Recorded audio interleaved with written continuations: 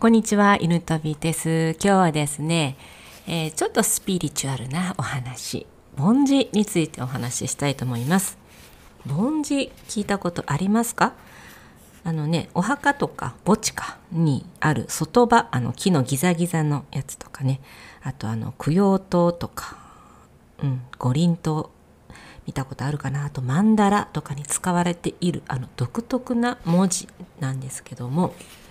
はいこれはおそらく意識していなくても皆さん一度はね目にしたことがあるのではないかと思います。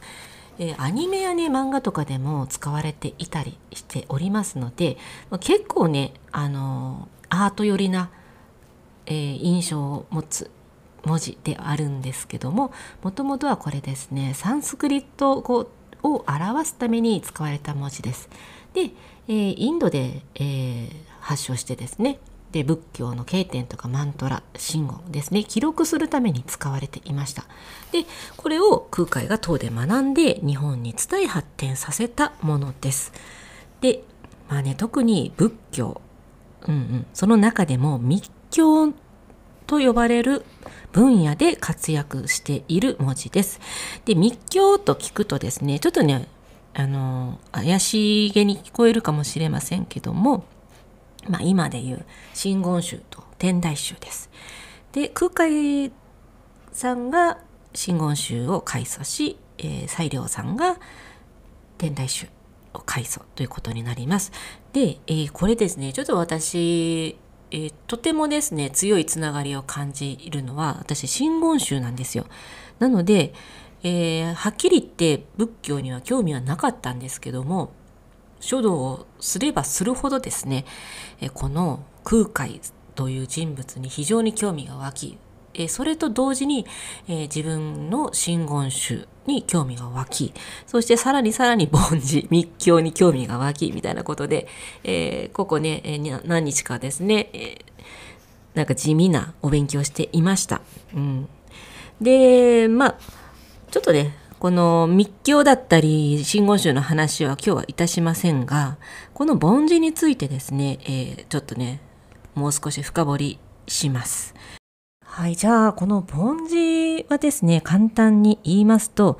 凡字、もう一時一時にですね、仏の悟りの知恵がですね、含まれていると言われています。無料の意味があり、え、永遠であり、かつこれを習得することで、え、仏様のね、知恵を授かることができると言われています。で、ここで無料の知というのは、この無料は仏様の意味になるんですけどもまあなんかちょっとね難しい話にはなってきたんですけど、まあ、めちゃくちゃありがたい文字ですよということで、えー、なんかね私はアニメや漫画でよく出てくるもんだからなんかこうお坊さんがね術を出す時に使われるまあその呪文のような一つだと そんな感じの認識だったのがまあ実はですね相当なその仏の力というものが込められている字ということで早々にこう簡単に取り扱えない適当に書いていけないものだったということにちょっとね学びがありました。で、どれほどね、敬われている文字なのかということをですね、えー、凡字を書く上での10箇条というものがあります。それをね、ちょっとね、一つずつ読み上げていきたいと思います。うん。えー、ただですね、ちょっとね、あの、堅苦しい、えー、10箇条になっているので、えー、少し噛み砕いた言い方でご説明させていただきます。はい、えー、まずですね、凡字が書かれたものをガサツに扱わない、焼かない、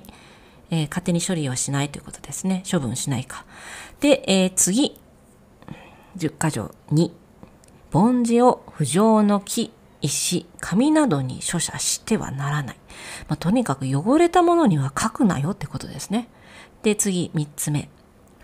凡字の重ね書き、書き残し、書き消しなどはしない。はい。あの、間違うなよってこと、ちゃんと最後まで書けよってことですね。はい。そして、仏教以外の書物に文字を用いない。これは知らなかったです。うん。何でもいいかと思っていた。うん。はい、次はね。えー、不正確に書写、解説をしない。私もギリギリグレーですね、今。うん。まあ、その、とにかく、適当に書き写したり、えー、間違った教えをしないでよってことですね。次、6つ目。えー、凡字を写したり読んだりするときはですね、必ず方位を着用すること。はい。持ってない。そもそも持ってない。なんだろう、喪服ですればいいのかな。はい。次、7つ目。仏教を信じない者に凡事疾患を解いてはならない。この疾患っていうのはですね、その、日本で、えー、大体一般的に使われているその凡字の文字ですね。で、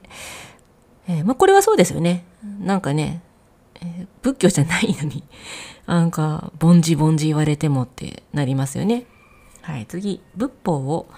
受ける素質が十分にあるもの、うん、見込みある人には惜しみなく教えなさいということです。はい。そして、えー、次、死の教え、凡字の読み書きを信じ、疑いを持たない。えー、本当かよとかね、絶対に思っちゃいけない。うん、本当にこれ、仏様の力あるのかよとかね、絶対ね、えー、言ってもダメ。はい。えー、あとはですね、うん、まあ、経典、えー、まあ、伝えられた教えに対して、えー、自分の、まあ、考え、施設を立てないということで、もう言われたまんまやってよっていうことです。これで以上10箇条ですが、まあ、はっきりと言って、えー、これね、僧侶以外の一般の方々、私たちのようなものにはですね、堅実に守ることというのはね、正直現実的ではありません。まあ、ですが、あの、まあ、本当だったらここまでこだわって、あの、禁止事項を作っているような、それほど、あの、聖なる文字ということは、まあ、組んでいてほしいなということでした。うん。なんか適当にね、こうちょっとね、私、なんか凡字って珍しいから、インスタに書いてあげちゃえとか、軽く思ってたけど、あ、これはちょっとできないなと。うん。そんなね、うん。まあ、ありがたい字ではありますけども、ありがたみがなくなってしまいそうな気がして、私はちょっとね、控えさせていただきました。で、ただですね、私が提唱提唱している瞑想書道というのがあるんですけども、この瞑想書道もですね、漢字の力を借りて、え、まあ、自己改善をしていく瞑想方法でして、で、えー、最後、うん、結構ね、あの、きつい感じと戦って、戦い抜いてヘロヘロになるんですけど、この瞑想。